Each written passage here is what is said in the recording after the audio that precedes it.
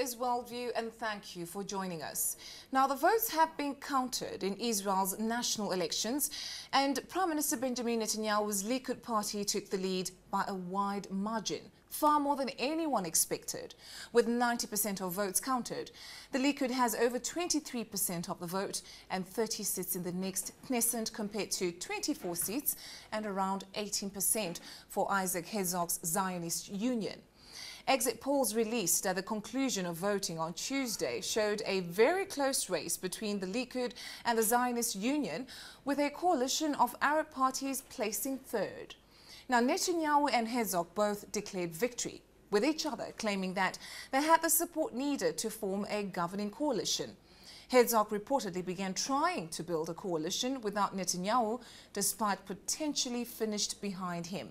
In an initial speech, uh, to his supporters. Herzog did not concede and appealed to the other parties to form a socio-economic reconciliation government that would lead. A right-wing coalition now seems a certainty with Likud going from 18 seats to 30 seats. The election results can be seen as a total deviation from figures posted in exit polls as weeks of public opinion survey showed the Zionist Union holding a slight lead over the Likud. As it turned out, Netanyahu and Likud were in a much stronger position than anyone expected. But the vote was not a complete loss for the Zionist Union. In the last election, in early 2013, the Labour Party, one of the parties that formed the Zionist Union, won about 15 seats and could not field a prime ministerial candidate. Now, a Labour-led bloc has won an additional nine seats and is well positioned to go into the formation of a government that will be accepted by all Israelis. Let's have a look at this report that shows us just how tense this race was. Just days before the election, Benjamin Netanyahu is on the ropes. The latest polls show the prime minister running behind a little-known mild-mannered politician. Now, the prospect of a major upset at the hands of Isaac Herzog, known as Bougie. There's fatigue. There's a lot of disappointment by Benj from Benjamin Netanyahu. I think his era is over.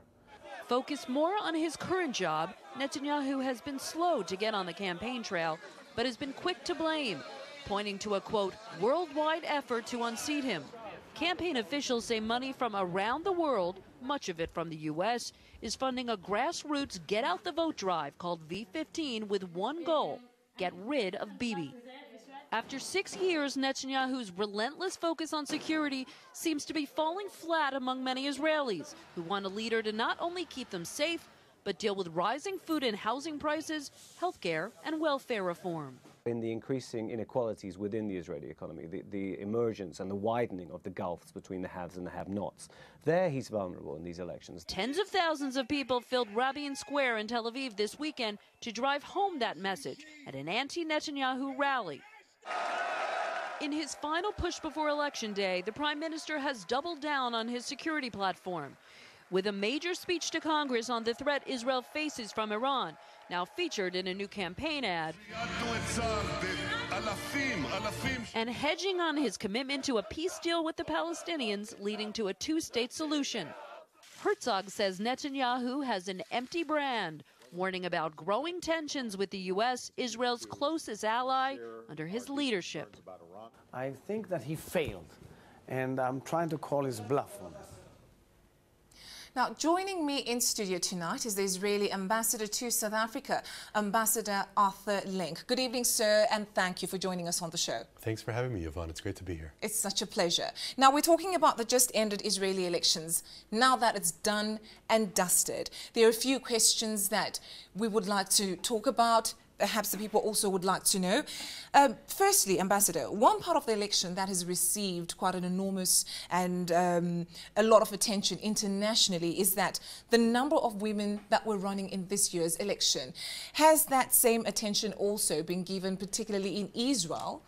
Well, I think it has. It's interesting, uh, according to final figures, which came out earlier today, it seems that there are going to be 29 women out of the 120 members of parliament. That's a record for my country, and it's something to really be proud of. And uh, I think that that uh, it shows is one aspect of the diversity and the things that we can learn from all of our community. Okay, so obviously this year was just a, a, completely turnout of events from gender inequalities to a whole lot of other political issues as well in this um, election. Now, how does religion, viewed as an aspect of culture, and influence the broader political culture and public policy? And of course, the reverse question, how can this you know, also affect the public policy and the culture. What role does religion really play in the political terrain of Israel? Well, Israel is a very diverse country with people of different faiths. I mean, Israel is the Holy Land. And so people of all faiths look to my country and look to, to places like Jerusalem and to Nazareth, mm -hmm. places that people grew up mm -hmm. hearing about in church or in synagogue or in mosque. But, it, but, it, but at the same time, Israel is a democracy. And all of our citizens, uh, regardless of their religion or their background, or their gender, mm-hmm. or anything else, have equal rights. And as you, as you said earlier in your report, the fact that the third largest party in our parliament is an Arab party, mostly Muslim, many Christians as well, I think it shows the diversity and the, and the openness of Israel's democracy. But is that really supported politically in Israel? Uh, obviously, yes, a diverse culture, like you clearly put it, but then the religion. Uh, aspect of it, their, their beliefs and all, is it really recognized in making political decisions within the Knesset? Well, it really is, in fact. Um, the chairman of Israel's election body mm -hmm. was a Christian Arab.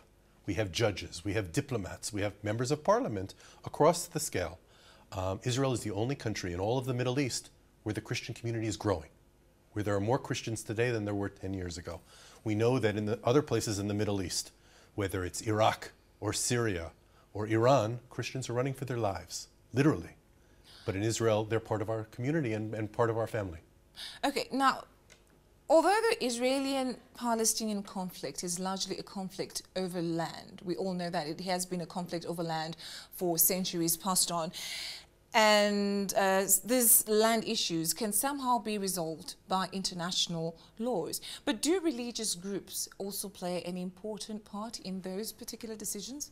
Well, I think that in the end it's a political discussion, and I, and I think it's not one about faith, because I think that there's that, that especially in a place like Jerusalem, that is so moving and so holy for Christians, for Jews, for Muslims, we have to find a way to share it with each other. And in fact, the holy sites in Jerusalem under the 47 years that the Jerusalem has been united under Israeli rule, have been open. And there's a freedom of religion and a welcoming to people of all faiths. And we encourage and hope for our brothers and sisters from around the world to visit us in Jerusalem and to be moved and to be touched by the holiness of the holy city. Okay, Ambassador, with talk of cold relations with the United States over Iran's nuclear program, how would you describe Israel's place on the international stage? Well, Israel obviously is one democracy in a crazy, complex, very difficult neighborhood. And we have lots of countries with shared values and interests around the world. One of them is the United States. There are many countries around Africa that have shared interests and values as Israel, that understand the challenges of terrorism and violence across Africa, whether it's in Nigeria fighting, fighting Boko Haram or in Eastern Africa against Al Shabaab all of us are looking for a better life, for quiet, to be able to go to the shopping mall mm-hmm. safely and come home at night. And so I think that there's an understanding that Israel facing challenges of whether Hamas or Hezbollah or farther in the Middle East of ISIS, that it's a shared fight, it's a shared conflict, and that Israel and like minded countries looking for security and safety and, uh, and freedom are on the same side. Okay. What kind of coalition is needed by Netanyahu and uh, the Likud party uh, in the formation of an incoming government? Will potential partners want to take part in that coalition with Prime Minister Netanyahu? Well, you're right to say that we're going to have to have a coalition, different than some countries that have a presidential system or have one party. Here in South Africa, the ruling party, the ANC, has 62% of the vote. Mm -hmm. In Israel, this is our 20th parliament in 68 years of, of independence. We've always had coalitions, and so we'll have one again. This one will probably be a more conservative one, one that connects to traditional values, one that's focused on keeping Israelis safe in a, in a changing, moving neighborhood next to Syria, next to Hezbollah and Hamas, that Israelis, next to Iran, Israelis are concerned and want to be safe. And I think that that's one of the, the messages that Prime Minister Netanyahu sent in his campaign to keep Israelis feeling secure and allowing at the same time for our economy to develop and for people to have a better life. Does the nuclear reform program in, um, in Iran concern you at all? Well, it does. It concerns us a lot. And it doesn't only concern Israel. Every neighbor of Iran, whether it's the Gulf states or Saudi Arabia or other neighbors in our region, are very concerned about Iran. And we see them as an aggressive country, not the people of Iran. The people of Iran are people who deserve more rights and more freedoms, and we, they're not our enemy. But the people who lead Iran continue to call for the destruction of the state of Israel. The destruction. There's only, you know, there are 193 members of the United Nations. 193. Only one Jewish state. Only one. And there's only one example of a country calling for the destruction of another member of the UN. That's Iran calling for our destruction. That's not going to happen. We and other countries are going to stand up and be safe and live our lives. Uh, Benjamin Netanyahu, during the electioneering period, reinforced his stance on some security issues, obviously including one that we've just touched on, that is the Iran's nuclear program, especially when he addressed the United States Congress. The Zionist Union, on the other hand, campaigned on the domestic issues that are affecting people within the borders of Israel. Do you think the support Israelis gave to the Zionist Union in this election was a call for more attention to be paid to the domestic and economic issues within Israel? Well, well, well, it's certainly true. I think that what you just said is right, that the campaign was run on these two different tracks, whether it was international affairs and security mm -hmm. Or on domestic issues. In the end, I think one of the conclusions that we're going to find is that more Israelis were concerned about foreign affairs and were concerned about the, the violence that's going on in the Middle East that if you just remember, just last year, in uh, the middle of 2014, thousands of rockets from Gaza came daily onto Israel. And there's 200,000 Syrians have been killed in a civil war and, and violence and, and chemical warfare or in recent times. And Iran continues to call for our destruction. That's a scary neighborhood, my friend. It's scary. And so I think that many Israelis said, we want to stay with a leader who makes us feel secure, makes us feel safe. But how are the domestic issues and economic issues in Israel at present? Well, we have a strong economy, but um, people want more. And, and I think young people were concerned about opportunities for housing and for social benefits and to be able to make sure that they can send their kids to university. Like in any modern Western country, have those economic concerns that balance out with foreign affairs. And uh, Israel's going to continue to move forward in its economy. We have a successful economy, very high tech and innovation based. But I think that we have to make sure that, that there's an opportunity for everybody. The United States expressed concern over Prime Minister Netanyahu's comments regarding the existence of a Palestinian state. Uh, the United States it will says that it will re-evaluate its stance uh, on peace talks in the region after Netanyahu's remarks. What is your take on the concerns raised by United States? Already we can see a relationship that is somehow struggling between Israel and the United States, which is a top ally well, that's, well, that, well, well, that, well, I think that that last point is the important point, is we're blessed. We have a warm, deep, structural, people-to-people -people connection between Americans and Israelis and between the Israeli government and the government of the United States. They're our closest friend. And we're by far their closest friend in the Middle East. We're the only democracy there. And now, does it mean that you agree on everything? I don't know. With my wife, we disagree on things sometimes too, every day. But uh, we have this deep relationship of values that brings us together and that we agree on much more than we disagree on. And we're going to find a way to move forward promoting the interests both of Israel and of the United States. And, and we're going to do it together because that's what we've always done. Okay, so regardless that the United States says that it will change its stance, you don't see this affecting anything at all in the near future? In the long run, nothing? I think that, that, that, that friendly countries disagree on certain issues. But I think that in the, in, in, the in the larger picture, Israel and the United States have shared values. We're both democracies. We're both free societies. We're both looking for ways to live with our neighbors in peace and security. We may disagree about this or on that, but for the 67 plus years of Israel's existence, America, the United States, has been our closest ally, and it will continue to be, I'm sure.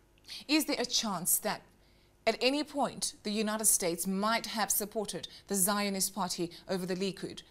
Well, the United States is a different country. Israelis voted in the end, and have been voted in record, record numbers over the last 15 years.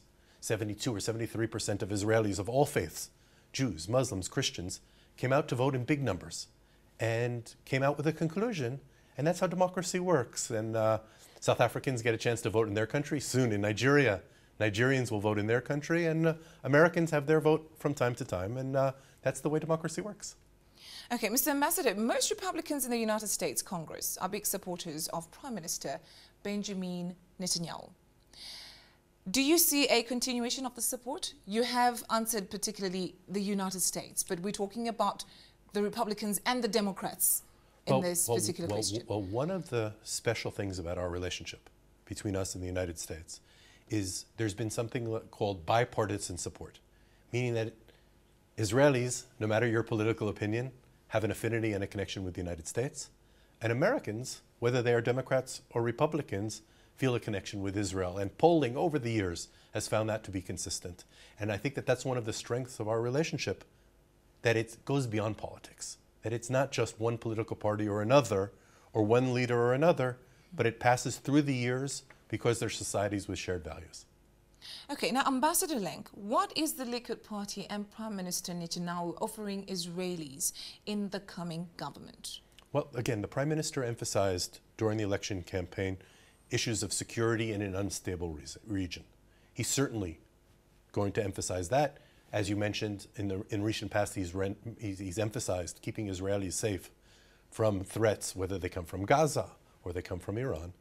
But at the same time, I think that there's going to have to be a concern and a focus on economic domestic issues as well, because the Israeli public, as a diverse democracy, expects that those attention, those issues to get attention as well. The prime minister, in his victory speech, emphasized that issue too, and so I'm I'm confident that that issue will come to fore in the coming month, weeks and months. Okay. Now, what I, I don't know how I can really structure this question, but what kind of relations will come up between the Palestinians and the Israelis going forward? The Palestinians are calling for an independent state. Prime Minister Benjamin Netanyahu's Likud party does not support that at all. What kind of a relationship are we most likely to see? Is there a relationship at all? What does the future yeah, hold? Well, what we have to find, we're neighbors. We're neighbors. Mm -hmm. And it's obvious that we have to find a way to live side by side in peace and security in this crazy neighborhood. We have to find a way to do that. And so I hope that the Palestinians will, will look at this new government, see it as an opportunity to restore talks, to restart a dialogue, to talk about mutual recognition, to find a way for Palestinians and Israelis to build a better life, to build a better future for both of us. Okay. Right, now we're going to take a short break as we continue with Worldview. Stay with us, please.